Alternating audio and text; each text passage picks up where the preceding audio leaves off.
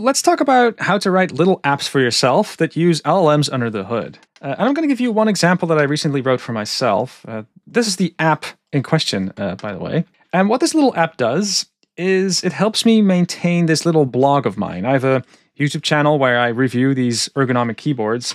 And at some point, I didn't just want to have them on YouTube, I also wanted to have something written on my blog. But I didn't feel like writing all of that. And a very normal thing to do with LMs these days is to maybe take some content from YouTube and write a neat little summary. And since it's for my own blog, I figured that would be kind of a automate the boring stuff kind of a moment. That's not something I want to do by hand.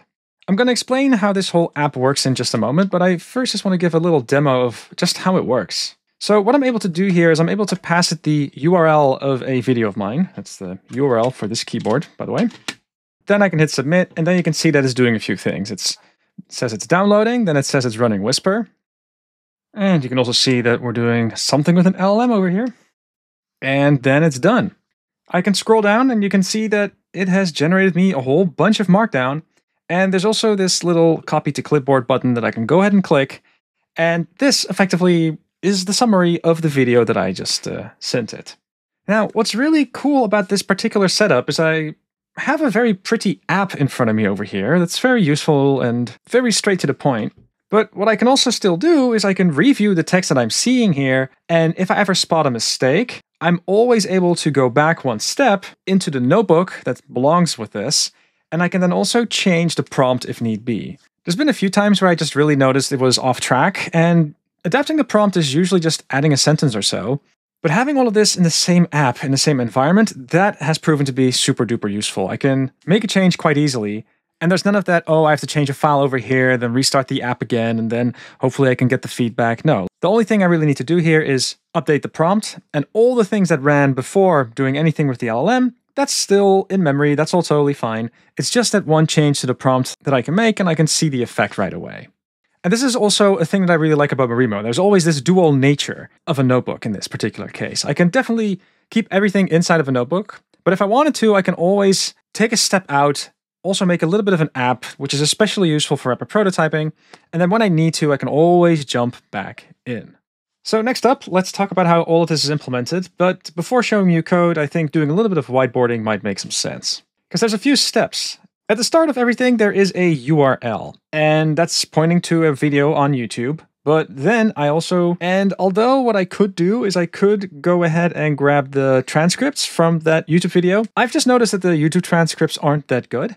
So it felt safer instead to first maybe download it this will give me a, uh, a video locally, and then I can run this open source model called OpenAI Whisper, and that is going to give me a transcript locally. The thing that's really nice about choosing OpenAI here is that you can also pick the model that you're going to use. So you can go for a super high quality but computationally expensive model. You can also go for something more lightweight, but there's also steps in between that you can pick from. And the main thing that I personally really like is that I don't have to rely on whatever Google is doing with their transcripts. It's just that I've noticed they're not necessarily that great all the time. Now, once I've got the transcripts into a bit of text here, this is where a LLM can kick in. From here, you can really go nuts. You can try out all sorts of LLMs that you like. For this exercise, though, I went with Claude.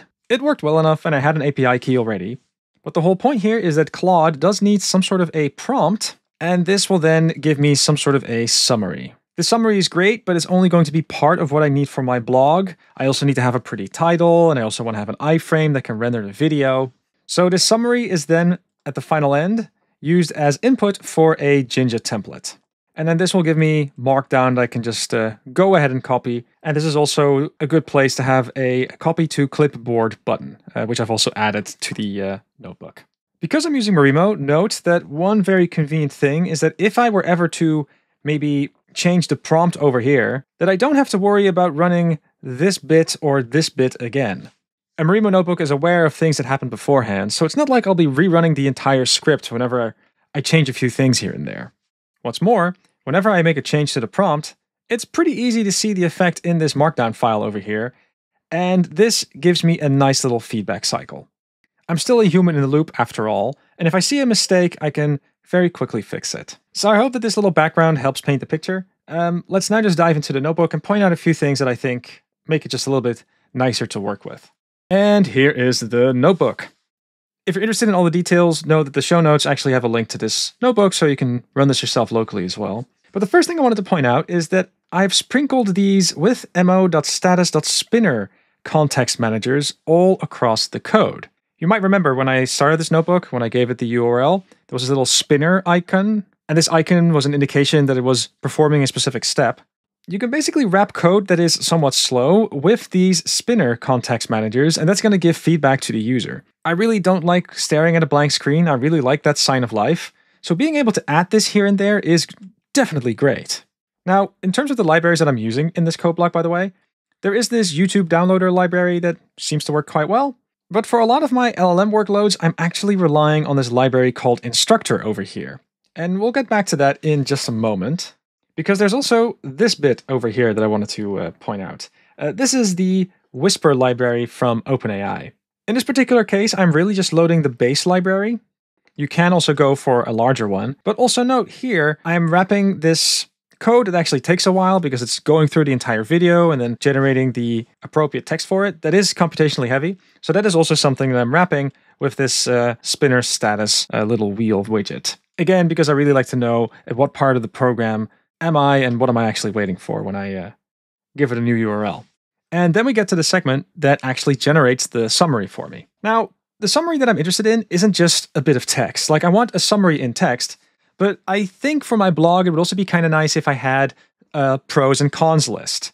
And I would also like to have this one sentence that's kind of a TLDR. And it would also be nice if I can just explicitly get the keyboard name out from the transcripts themselves. And this is where there's this little library called Instructor that gives you just very neat features. And the way it works is you just make a Pydantic base model as you would normally, but the docstring that you add to that class, that is actually going to be part of the prompt sent to OpenAI or Claude or whatever LLM that you're interested in using. You can then also tell it what kind of outputs you expect, and you can actually use types for this. So I can say, hey, there's a little summary, but I also want to have a pros list and a cons list, and those have to be output as list of strings. Under the hood, Instructor can then take care of all the prompt engineering for you, or it can make sure that if you have an LLM that has proper support for parsing these functional features, then it can go ahead and use that as well. It depends a bit on what kind of LLM that you're using. Just in general, I have found that Instructor is pretty good at using some of the more cheaper open source models as well as some of the more expensive hosted versions for you. The main thing that's just really neat is that this definition is something that is independent of the LLM that you are indeed using. Also note that whenever I find a mistake in my output, then this would also be the place where I tweak the prompt a little bit. And you can actually see that there's a couple of changes that I've already made. There's just one little bit over here where I'm saying that it shouldn't do more than four pros and four cons. I've noticed a few times that it ends up making these huge lists of all the positive aspects of a keyboard and all the negative aspects of it. A little sentence like this turns out to be uh, pretty good at preventing that behavior. And here's another thing that I noticed. Sometimes the name of the keyboard that was outputted didn't include the brand of the keyboard, and I do think the brand should be part of the keyboard name. So little tweaks like that. Like those are changes that I've definitely made uh, whenever I was looking at the output and I just noticed, hey, there's a few things that are just a bit off. But I also hope it's clear that it wasn't a whole lot of work. This is uh, maybe a paragraph of a prompt, only a few sentences. Okay, and then below over here, you should see a spinner, just like before. And you can also see that we have our YouTube output. There's a client that I constructed that connects to Anthropic. Uh, I also have to give it the model. You can pick different model names from here, by the way, but Claude 3.5 Sonnet was fine.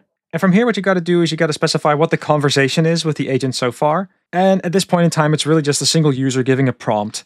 But you can go and do some elaborate things here as well if you're doing something with multi turn interactions, let's say. I'm not doing any of that. But one part of the prompt, quote unquote, that I wrote was to define this expectation of the output. And then there's also this little bit of prompt down below over here where I can also add the title of the YouTube video as well as the text that came out of my LLM, as well as the text that came out of OpenAI Whisper.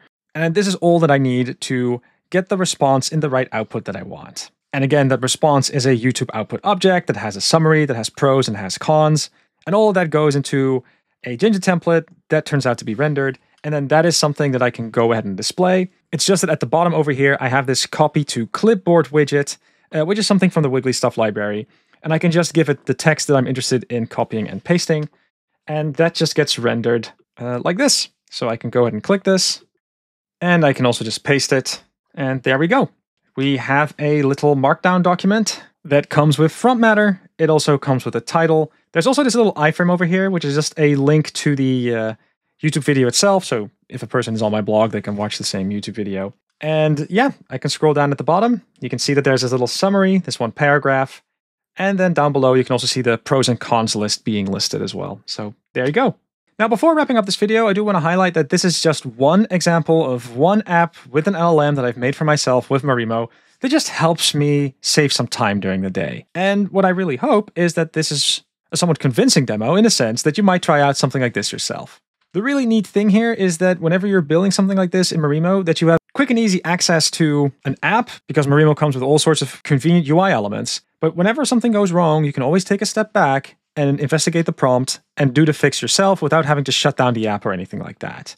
And it's that ability to do rapid prototyping, but also rapid iteration, that is the reason that I keep coming back to Marimo, especially when there are steps in sequentiation that each depend on things that happened before.